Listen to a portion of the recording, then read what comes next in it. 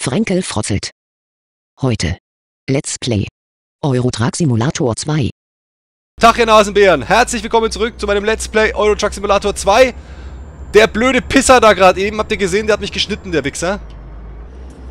Ähm, zum Glück war ich äh, dann auch schön auf der Bremse. So. Gucken wir mal, wollen wir kurz einen Blick hier reinwerfen. Wir fahren von Nürnberg nach München, ja, das seht ihr hier. Oh oh. Und hier Kraftstofftank, ja, 12 äh, Tonnen habe ich jetzt hinten dran und jetzt muss ich aufpassen, dass kein Unfall passiert. Ich muss gleich voll bremsen hier. Äh, Scheiße. Okay, das war...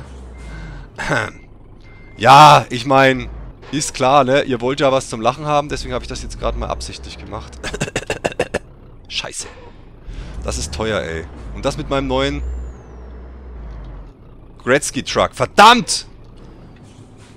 Na egal. 6%. Was sind schon 6%? naja, okay. Ja, also, es geht nach München mit einem äh, Kraftstofftank. Und das versuchen wir jetzt möglichst schnell hinter uns zu bringen und dann das Ding hier wieder zu reparieren. Das kostet wieder meine Fresse, ey. Ja, das kommt davon, wenn man auf eine Ampel zufährt und dann irgendwie mit der Meinung ist, man muss ständig durch irgendwelche Menüs durch, ja. Frenkel, Frenkel, Frenkel. Jetzt ist die, die Schnauze von dem Scania, die ist ja sowieso immer relativ, relativ platt und breit. Jetzt ist sie noch ein Tick platter und breiter, glaube ich, ne? So, und wenn wir auf der Autobahn sind, dann zeige ich euch den nochmal. Das ist ja eine neue Lackierung. Also neuer Truck mit einer ganz neuen Lackierung. Einer Zuschauerlackierung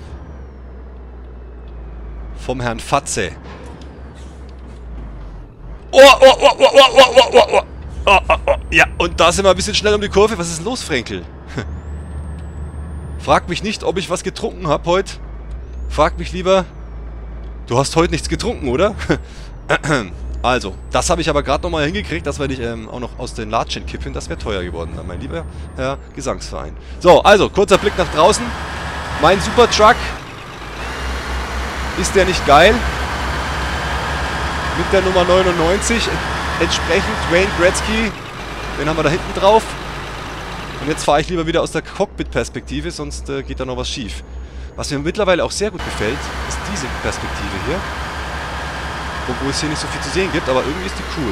Man fühlt sich wie so ein Vögelchen, das da einfach mal mitfährt. Ja, komm, jetzt, jetzt konzentrieren wir uns mal. Komm, diese Schlangenlinien dauernd. Ja, das geht doch gar nicht, Herr Frenkel. Wir sind doch Profi mittlerweile, da müssen wir doch mal ein bisschen besser fahren, ne? Sonst beschweren sich wieder die Zuschauer, ne? Da heißt wieder, du fährst da scheiße. Ey, du Penner, du bist so dumm. Du fährst so kacke. Und das wollen wir doch nicht. Ja, ähm... Während ich jetzt auf dem Weg nach München bin, fällt mir gerade noch was Lustiges ein. Ich habe da neulich was gelesen. Jetzt weiß ich nicht mehr, in welchem, auf welcher Seite.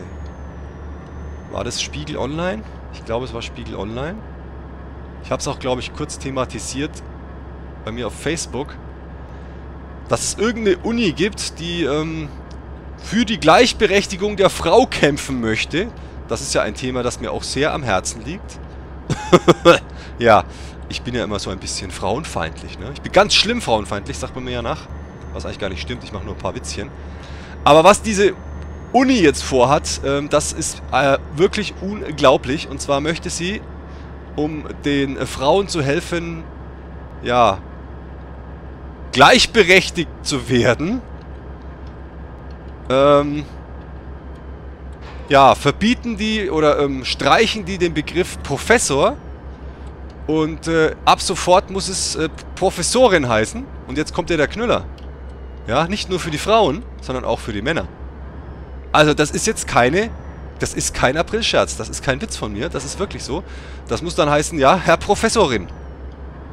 Und da frage ich mich doch, hat so eine Uni, haben die nichts Besseres zu tun? Also, hoppala, hoppala. ah, irgendwie lenkt sich der so ein bisschen, äh, wie soll ich sagen, ein bisschen empfindlich, der gute äh, Scania-Truck hier. Ich bin ja diesen DAF gefahren zuletzt und das kann sein, dass der vielleicht ein bisschen schwerer und ein bisschen besser auf der Straße lag. Der hatte ja auch 10 Reifen ja, und nicht nur 6. Ja, äh, was haltet ihr davon, äh, Herr Professorin? Ja? Ich weiß nicht, das, ich hoffe, das ist nur eine Scherzin, weil äh, irgendwie kann ich das nicht ernst nehmen, so richtig. Also mal ganz ehrlich, die haben doch einen total an der Waffel. Erstmal abgesehen davon, jetzt mal ganz ernsthaft, abgesehen davon, dass das der Gleichberechtigung überhaupt nicht, null, gar nicht weiterhilft, weil es völlig für einen Arsch ist, ja. Abgesehen davon ist das für mich, äh, ganz ehrlich, das ist für mich eigentlich schon männerfeindlich. Ja, ist so, ja, oder nicht, oder wie, oder was. Also würde mich interessieren, wie ihr das seht. Und wer es nicht so sieht wie ich, soll am besten, am besten keinen Kommentar schreiben. Alle nur mir recht geben. Ja, ist doch auch wahr, oder? Ich meine, was soll das? Ich habe es jetzt auch vergessen, welche Uni das war. Ach man, wenn ich mir nicht alles aufschreibe. Wer es weiß, äh, schreibt es in die Kommentare. Am besten, ihr gebt einfach mal äh, bei Google Herr Professorin ein, dann müsstet ihr den Artikel eigentlich finden. Glaube ich. Oder so. Meine Hand möchte ich dafür nicht ins Feuer legen. So, was sehe ich hier gerade? Ähm... Ich habe nur noch 213.000 Euro, weil ich Geld ausgegeben habe wie bekloppt. Ich habe ja lauter Trucks gekauft, und eine zweite Garage gekauft. Und äh, ja, mittlerweile, da kommt das Geld ja von selber rein. Also das mit dem Geld verdienen, das ist ja mittlerweile, hat sich das ein bisschen erledigt. Also wenn man da erstmal ein paar, paar Fahrer hat ähm, und äh, zwei Garagen, dann äh, ja, dann ist das ordentlich, was da so zusammenkommt. Und wenn man dann noch mehr hat, glaube ich, ähm, dann, äh, ja, dann ist das Geld so im Überfluss da, kann man denn eigentlich was spenden in dem Spiel? Ich würde gerne der Uni was spenden, die diese Idee hatte, ähm, die weibliche Form für Professoren einzuführen. Und zwar nur die. Ich, ich kann, also ehrlich, ich kann es nicht fassen. Und ich dachte zuerst auch, das muss ein Aprilscherz sein. Aber nein, das stimmt. Das ist wirklich die Wahrheit. Realsatire at its best, würde ich mal sagen. Ja, und denen würde ich gerne was spenden. Und zwar irgendwie am besten 5 Millionen, damit die sich vielleicht ein paar neue Professoren, äh, äh, Verzeihung, Professorinnen leisten können und ein paar äh, bessere Verantwortliche, die nicht auf so eine bekackte Idee kommen. Also mal ernsthaft, das ist doch bekackt, bekackt, da geht's doch gar nicht mehr. Also ich krieg's nicht, ich krieg's nicht gebacken. Also äh, wie kann man so, so einen Scheiß bauen? Das verstehe ich nicht. Ähm, und das Beste war, glaube ich, der, der die Idee hatte, der hat das irgendwie gar nicht mal so ernsthaft gemeint, sondern hat das einfach nur mal so in die Runde geworfen. Und äh, jetzt ähm, in dem Artikel meint er, ja scheiße, ich dachte doch nie, dass das wirklich ankommt und dass das gemacht wird. Dass das eine Mehrheit findet. Ja, da solltet ihr mal äh, auch was draus lernen, ja. Macht keine Vorschläge einfach nur aus Scheiß heraus, weil sonst ähm, werden die auch noch umgesetzt. So. Jetzt konzentrieren wir uns aber weiter auf unsere lustige Fahrt. So sehr weit kann es ja nicht sein, ne? 37 Kilometer noch. Das kriegen wir in der Episode. Das ist mal so ein richtiger schöner Kurztrip von äh, Nürnberg nach München. Hervorragend. Das ist schön, ja. Das ist so richtig schön. Mal kurze knackig. Da drüben ist ein äh, Truck, ein äh, US-Truck. Habe ich ja auch einen. Ein Peterbilt. Bin ich auch schon gefahren. Schon lange nicht mehr gefahren. Könnte ich einmal wieder fahren irgendwann, oder? Die Mone ist ihn ja auch schon gefahren. Vielleicht sollte ich der Mone mal einen Schwertransport reindrücken, so einen richtig heftigen. Das wäre doch mal lustig, oder? Ja, also, wir sind schon kurz vor, vor München. Alles bestens, alles super, alles gut. Wir liegen, glaube ich, auch gut in der Zeit. Da, da kommen schon wieder 2300 rein. Ähm, 2300 Euro von der Sophie. Das ist jetzt nicht so viel, aber die hat ja erst angefangen, die Sophie. Also, für die Sophie ist das noch nicht so viel, aber wie gesagt, erst frisch dabei. Und jetzt muss ich ja abbiegen. Und zwar möglichst so, dass mein Truck nicht umfällt. Nicht umkippt. Hatten wir ja alles schon. Um nochmal auf die TSM-Jungs zurückzukommen, für die ich ja meinen, äh, den, den, den, den Monster Duff Truck vorstellen durfte.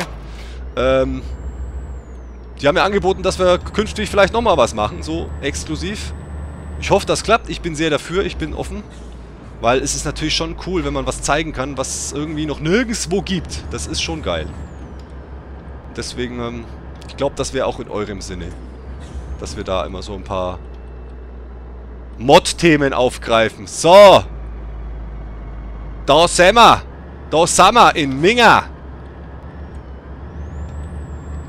Jetzt ist nicht mehr weit und das Einparken sollte kein Problem sein. Das ist ja kein Schwertransport hier, ne? Obwohl, bei mir, man weiß es nie. Kommt immer darauf an, wie eng die Einfahrt ist und das ganze Zeug. Oh ja, und reparieren muss ich ihn auch, weil, ähm, wie ihr wisst, hatte ich ja einen kleinen Unfall. Komm, werd grün. Hallo! War das nicht grün? ich dachte, es wäre grün gewesen. Ich dachte, die hätten gerade rechtzeitig umgeschaltet. Ah, komm, macht nichts. Schneiden wir raus.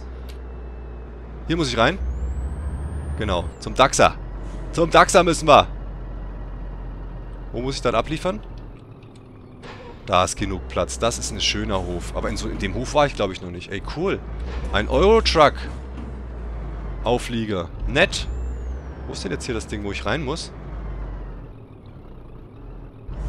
Hä? Was ist denn jetzt los?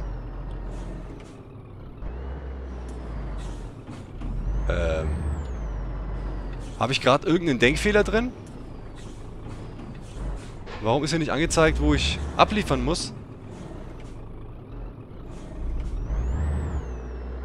Was geht? Was mache ich denn jetzt? Ach nee, ich muss wieder darüber. Ich bin falsch gefahren, oder was?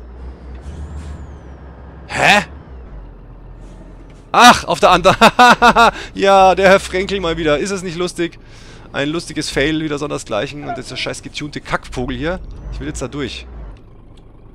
Mann! Natürlich! Genau dahin stellen, du Arschloch! Ja, ich bin einfach auf der falschen Seite gewesen. Das war das Problem. Auch das schneiden wir raus.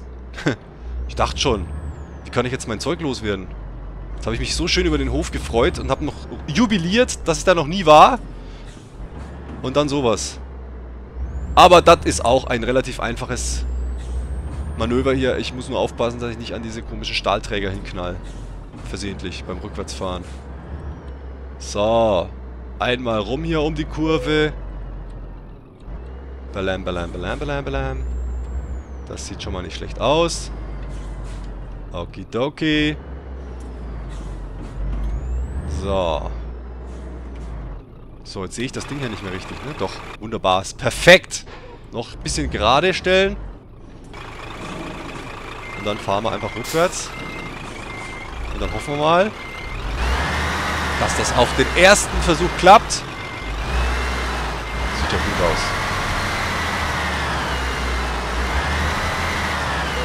Ja, ein Stück weiter rüber jetzt. Nicht, dass jetzt das hier zu streng ausgelegt wird. Komm, das gilt doch, oder? Ist doch super. Hat doch super geklappt, oder? Komm. Hallo. Jawohl. Sag ich doch.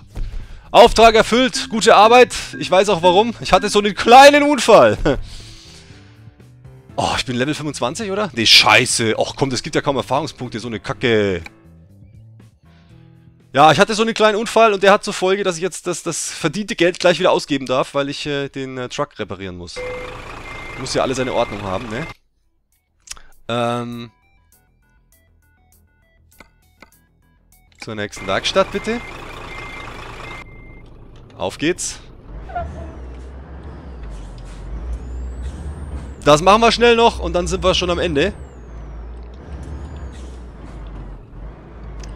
So, langsam. Kommt nix. Super. Und dann da vorne rum. Vielleicht mal nicht über Rot. Obwohl. Na, jetzt brauchen wir nicht bei Rot durchfahren. Komm, fahr zu, du Arsch! Los! Komm mal ein bisschen in die Pushen da! Sonst wird es hier wieder rot, bis ich da ankomme.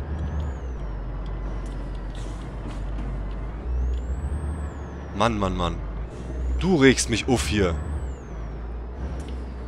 Und da ist jetzt rot. Und da wenden wir mal einen Trick an. Den kann ich euch auch gleich mal zeigen. Das ist ein Trick. Ich weiß jetzt nicht, ob es eine Blitzeampel ist. Ich weiß auf alle Fälle, wenn ihr über den Bürgersteig fahrt, blitzt die Ampel nicht. Das nur so als Tipp, wenn ihr das mal eilig habt. So. Ah, meine entzündeten Äuglein sehen schon wieder was. Das muss ich gleich mal ausprobieren. Das hatten wir zwar schon, aber weil es sich gerade wieder anbietet. So, also. Das war die falsche. Hier wollten wir hin. 57231, das kostet 9000. Ich weiß gar nicht, was ich verdient habe. Naja. Komm, wir haben es doch nach wie vor. So, dann speichere ich jetzt mal ab hier. Weil wir ja wirklich, wie gesagt, am Ende sind. Wenn euch die Folge gefallen hat, lasst mir ein Like da. Das wäre sehr schön und äh, dann sehen wir uns äh, in der nächsten Episode wieder. Jetzt schaue ich mal, ob das noch geht, wie ich mir das gerade vorgestellt habe. Da vorne war nicht diese Sprungschanze, genau. Das haben wir schon mal gemacht, aber vielleicht hat es der eine oder andere verpasst, nicht gesehen. Ich werde es jetzt nochmal machen. Ohne Auflieger, weil ich gerade keinen da habe. Schade, aber egal. Komm, und jetzt schauen wir mal, was wir da die Reihe kriegen mit meinem Oilers Truck hier. Bam, Baby. Bam. Bam, bam, bam, bam, bam, bam, bam. Bam. Und ich habe wieder Schaden 6%, macht aber nichts, ich habe vorher gespeichert. Ich bin nicht ganz drüber gekommen, ey. Das ist ja schwach, oder?